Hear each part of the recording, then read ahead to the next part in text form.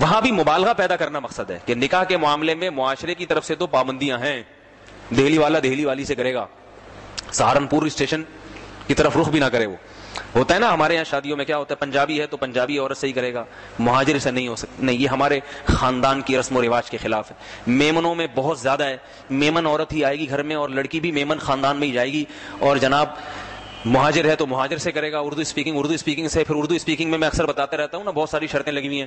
Urdu speaking کی بہت قسمیں، جو سہارنپور کے، وہ سہارنپور سے، یو پی والے، یو پی والوں سے، دہلی والے، دہلی والوں سے، جو یو پی والے دہلی والی سے نہیں کریں گے کبھی، دہلی والے بڑے تیز ہوتے ہیں۔ اور دہلی والے کہتے ہیں یہ بڑے بیوقوف ہوتے ہیں۔ تو ایک دوسرے کے لیے بہت ساری پابندیاں ہم نے، نتیجہ کیا نکلتا ہے کہ چالیس چالیس سال کی مرد کی عمر ہو جاتی ہے۔ اس کی بھی شادی نہیں ہوتی اور لڑکیاں بھی جوانی کی عمر سے گزرنا شروع کر دیتی ہیں، بوڑھی ہونے لگتی ہیں گھروں میں، ان کی بھی شادیاں نہیں ہوتی۔ تو اس لیے اللہ نے نکاح کو جب حلال قرار دیا تو بہت مبالغہ کیا، اس میں فرمایا، ما ورا ذالکم یورپ جاتے ہو، وہاں گوری عورتوں سے کر لو، اگر مسلمان ہو گئی ہیں وہ، ان سے کر لو۔ اور چاہے یہ جو افغانی آج کل چائنا جاتے ہیں نا، چائنیز، تو چائنیز عورتوں سے افغانی بہت شادیاں کر رہے ہیں، ان کو مسلمان کر کے۔ چائنیز عورتوں سے جیپنیز عورتوں سے، وہاں کی عورتیں اپنے شوہر، وہاں کے مردوں سے نہیں کرتی شادیاں۔ ہمارے ایک رشتے دار جاپان کا ٹور لگا کر کے آئے، جاپانیوں سے بڑے متاثر تھے وہ۔ جاپانیوں سے آپ بھی بڑے متاثر ہوں گے نا، ہم بھی بڑے متاثر ہیں کہ جیپنیز اتنے اچھے ہوتے ہیں، ایسے سلیقے شعار اور ایسے ایٹیٹیوڈ ان کے کہ بہت ہی تمیز سے، بہت ہی تمیزدار قوم ہے تمیز کی میں ابھی مثالیں نہیں دوں گا، سب کو پتا ہے کہ اتنی ترقی کی جاپان نے تو کچھ تو ہوگا نا۔ تو وہ جب جاپان سے ہو کے آئے، انہوں نے کہا کہ جاپانی عورت جیپنیز کو پسند نہیں کرتی۔ اتنے اچھے ہیں، ٹھیک ہے نا؟ اب کیا اچھائی رہ گئی میرے بھائی، جب وہاں کی عورت اپنے مقامی مرد سے شادی نہیں کرنا چاہتی، غیر ملکی کو ترجیح دیتی ہے۔ وجہ اس کی یہ کہتے ہیں، وہ وجہ اس کی ہے کہ وہ جیپنیز جو ہے نا، اس کو پتا ہے شادی کر کے کچھ دن تو رہے گا بیوی کے پاس۔ اس کے بعد وہ رات کو کہا جاتا ہے نائٹ کلب میں، بیوی کے پاس نہیں آتے۔ وہ نائٹ کلب بہت زیادہ ہے وہاں پہ۔ تو اگر ان کو کوئی مسلم مل جائے نا، مسلمان، تو وہ اس سے شادی کو ترجیح دیتی ہیں۔ وجہ اس کی، ان کو پتا ہی ہے اگر وہ مسلم زانی شرابی نہیں ہے، تو یہ جو ہے نا، کم از کم رات کو گھر آئے گا۔ ہمارے یہاں کیسا بھی خراب آدمی ہو، بالآخر آتا کہاں ہے؟ بشرتے کے زانی نہ ہو۔ اب چونکہ ہمارا کلچر بھی خراب ہو رہا ہے زینا کی طرف جا رہا ہے، تو وہ پھر وہ بھی اسی کا انجام بھی اللہ نہ کرے، وہی ہوگا جو ان ممالک کا انجام ہوا۔ لیکن جہاں زنا نہیں ہے، تو وہ بہرحال بیویوں کے ساتھ وفا کرتے ہیں۔ تو صحابہ کرام نے بھی ایسے ہی کیا، جب باہر دنیا میں گئے ہیں، بہت کثرت سے نکاح کیے صحابہ کرام نے۔ یہ جو آپ کو سید بہت بڑی تعداد میں، دنیا کے ہر ملک میں سادات نظر آئیں گے آپ کو۔ جو حضرت حسین، حضرت حسن سے ان کے نصب ملتے ہیں، تو یہ کیسے ہو گیا؟ ظاہر ہے ان کے نکاح بہت دوسرے ممالک میں بھی جا کے کیے ہیں، تو ان سے نسل جو ہے وہ پیدا ہوئی ہے۔ تو ما ورا، اس میں عورت کا بھی فائدہ ہے نا۔ مرد کے جب نخرے کم ہوں گے، تو پھر لڑکی کی شادی بھی آسان۔ آج افسوس کی بات یہ ہے کہ مائیں شکایت کرتی ہیں کہ ہماری بیٹیوں کے لیے رشتے نہیں آتے۔ جو بھی رشتہ آتا ہے وہ کچھ نہ کچھ عیب نکال کے مسترد کر دیتے ہیں۔ لیکن اپنے بیٹوں کے بارے میں ان کا رویہ بالکل یہی ہوتا ہے۔ جب بیٹوں کے لیے رشتہ دیکھنے جاتی ہیں تو اس سے زیادہ عیب نکال نکال کے مسترد کرتی ہیں۔ تو بھائی جیسی روح ویسے فرشتے، جیسا آپ ان کے ساتھ سلوک کر رہی ہو، دوسرے کی بیٹیوں کے ساتھ تو آپ کی بیٹیوں کے ساتھ بھی ویسا ہی سلوک ہوگا۔ اسی طرح مرد جب اپنے لیے معیار بہت اونچا کر لے گا نا کہ میری بیوی ایسی ہونی چاہیے۔ اللہ نے تو اجازت دی، ماں ورا ظالم سب حلال، لیکن آپ نے پہیں لگا دی اس میں۔ میں اردو اسپیکنگ ہوں تو لڑکی اردو اسپیکنگ ہونی چاہیے۔ پھر میں یو پی کا ہوں تو یو پی کی ہونی چاہیے۔ میں جناب، میں میں اتنا تعلیم یافتہ ہوں، میں نے پی ایچ ڈی کیا ہوا ہے تو لڑکی کم از کم ایم اے ہونی چاہیے۔ اور میں اتنا کماتا ہوں تو لڑکی کی بھی جاب ہونی چاہیے۔ تو جب آپ نے اتنی شرطیں لگا دی تو اب اگر آپ کی اگر بیٹی پیدا ہو گئی، تو یاد رکھو پھر آپ کو بھی اس معیار پہ اپنی بیٹی کو لانا پڑے گا، جو آپ نے اپنی بیوی کے لیے معیار متعین کیا تھا۔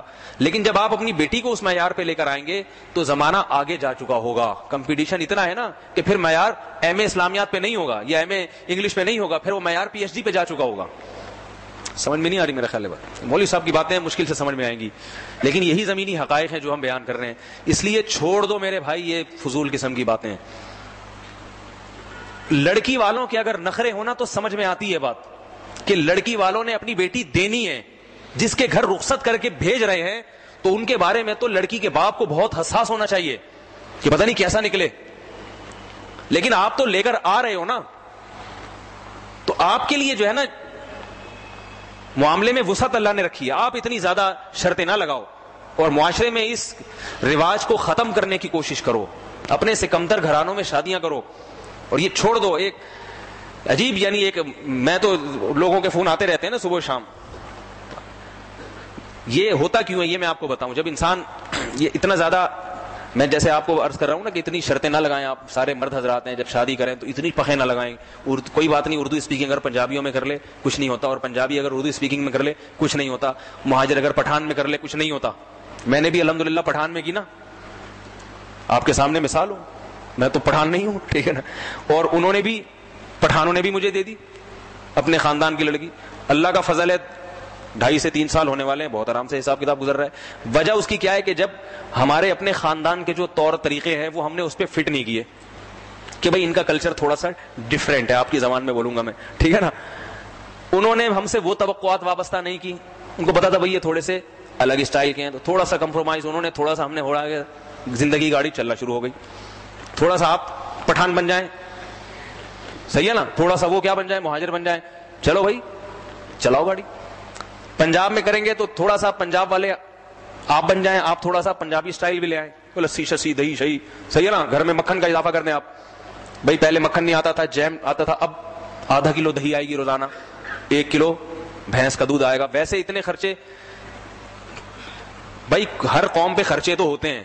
خرچوں کی نوعیت میں فرق ہوتا ہے۔ کسی قوم کی خرچے لباس پہ زیادہ ہوتے ہیں، کسی کی کھلائی پلائی پہ ہوتے ہیں۔ تو نوعیت تبدیل ہو جائے گی۔ اپنے ظرف کو وسیع کریں اس میں، یہ جمود توڑیں۔ میں یہ عرض کر رہا ہوں، یہ جمود توڑتا کیوں نہیں ہے انسان؟ توڑتا کیوں نہیں ہے؟ اس لیے کہ دنیا کو مسافر خانہ نہیں سمجھتا۔ وہ سمجھتا ہے کہ میں نے سارے مزے اس دنیا میں اٹھانے ہیں۔ لہذا جیسا میرا معیار ہے نا، ایسی بیوی ہونی چاہیے تاکہ سارے مزے میں دنیا میں مجھے مل جائیں۔ لہذا وہ کمپرومائز نہیں کرتا۔ شکل بھی اچھی ہونی چاہیے، تعلیم بھی ہونی چاہیے، گھر کے طور طریقے بھی ہونے چاہیے۔ جب میرے رشتے دار آئیں تو بہو ایسی ہونی چاہیے گھر میں کہ وہ ان سے یعنی میزبانی بھی بہت اچھی طرح سے کرے، ان سے پوچھے بھی اور ساس سسر کی بھی تسلی کے ساتھ خدمت کرے۔ پھر تعلیم یافتہ ہو، بچوں کی تربیت اور جاب اگر ضرورت کے وقت کرنی پڑ جائے تو جاب بھی کرے۔ او ہو، ہلا کے ایسا کہ جیسے بنی اسرائیل کی گائے۔ موسا علیہ السلام نے حکم دیا نا، گائے ذبح کرو۔ تو بنی اسرائیل نے پوچھا بھائی ہوتا گائے ذبح کرو۔ تو مطلب یہ کہ کوئی بھی گائے لاؤ جو لنگڑی لولی معذور نہ ہو، ذبح کر دو، ختم۔ انہوں نے کہا نہیں۔ کس قسم کی گائے ہونی چاہیے؟ ماں لو نوہا اس کا رنگ کیسا ہونا چاہیے؟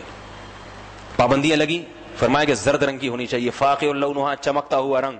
تصر الناظرین، دیکھنے والوں کو پسند آئے۔ جیسے وہ لاسانی اور دل پسند والوں کے فارم ہوتے ہیں نا یہاں سوراب گوٹ میں۔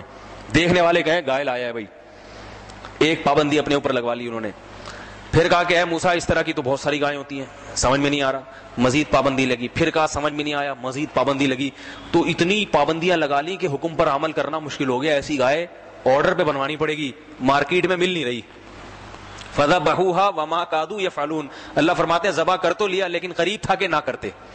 تو بیائی نہیں بیوی کی سلیکشن میں اتنی سخت مرد نے معیار بنائے ہوئے ہیں کہ اللہ فرماتے ہیں شاید یعنی یہ آیت یہاں چسپا ہو، فنا کا وما کادو انہوں نے شادی کر تو لی، لیکن ان کے حالات کو دیکھ کے لگتا تھا کہ کمارے ہی مر جائیں گے یہ دنیا سے، ان کو ملے گی نہیں۔ اتفاق سے مل گئی، ورنہ اس قسم کی شرائط میں لڑکی کسی کو ملتی نہیں ہے۔ تو بھائی جو یہاں بیٹھتے ہیں، جو لوگ بات سنتے ہیں، تھوڑا سا مردوں کے معاملے میں معیار جو ہے نا، مرد ہلکا کریں۔ اللہ تعالیٰ کی ان ترغیبات سے متاثر ہوں۔ میں نے بھی بتایا نا، اللہ کیا فرماتے ہیں؟ لم یخر علیہ سم ایمان والے اندھے اور بہرے ہو کے نہیں گزرتے۔